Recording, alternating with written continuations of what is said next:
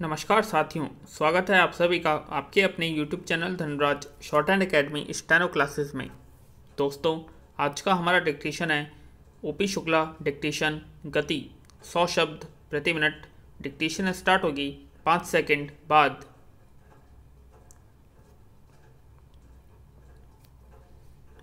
Get ready start उपाध्यक्ष जी, इस सदन के सामने विदेश मंत्री जी ने जो यह संविधान संशोधन विधेयक प्रस्तुत किया है, इसका मैं हृदय से समर्थन करता हूँ। विराम, मैंने और शायद इस सदन के बहुत से माननीय सदस्यों ने इस देश के इतिहास का गहरा अध्ययन किया होगा और उनको भी यह स्मरण होगा कि भारत के अंदर अनेकों प्रांत और देशी रियासतें या राज्य हुआ करते थे। विराम, हमें स्मरण है कि उन्हीं में से सिक्किम भी एक है जो हमारे देश का उसी प्रकार का राज्य है जैसे अन्य राज्य हैं। लेकिन इतिहास इस बात का साक्षी है कि जो हमारे देश का एक अंग था, जिसकी लगभग एक लाख जनता ने हमारे साथ मिलने की इच्छा प्रकट की थी उसको पिछले सत्ताईस सालों में उन मौलिक अधिकारों का प्रयोग करने का अवसर नहीं मिला, जिनका अधिकार उनको उन्नीस सौ सैंतालीस के बाद और विशेष रूप से उन्नीस सौ बावन के बाद जब हमारा देश गणराज्य बना था, मिलना चाहिए था विराम। आज इतने सालों के बाद फिर हमारे देश के जो इतिहास में ऐसा निर्णय करने का अवसर आया है, जो कभी बुलाया नहीं जा सकता।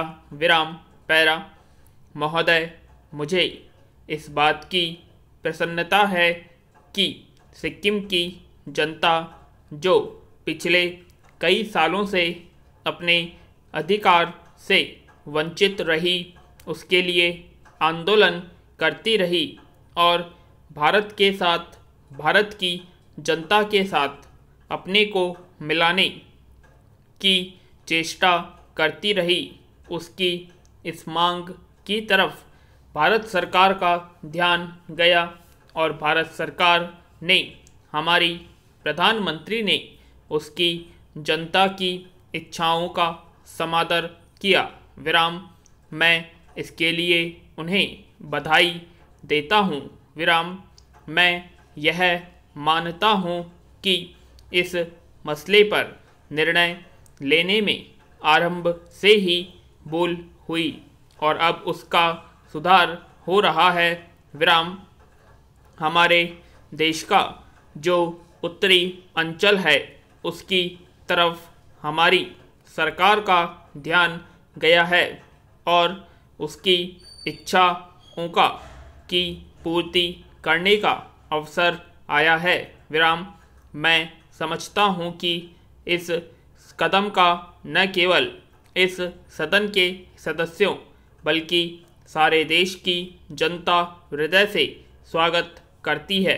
विराम, पैरा। मान्यवर, मैं यह भी निवेदन करना चाहता हूँ कि सिक्किम राज्य की जनता की इच्छाओं का मान रखने के बाद हमारे देश के ऊपर एक बहुत बड़ा उत्तरदायित्व आ गया है।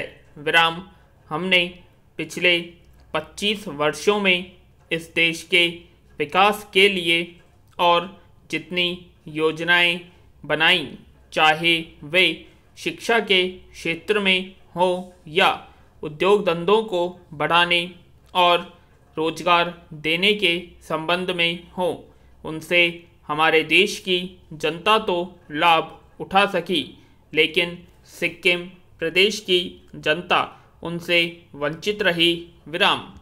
अब वह समय आ गया है जब हम अपनी योजनाएँ बनाते समय सिक्किम का विशेष ध्यान रखें। विराम।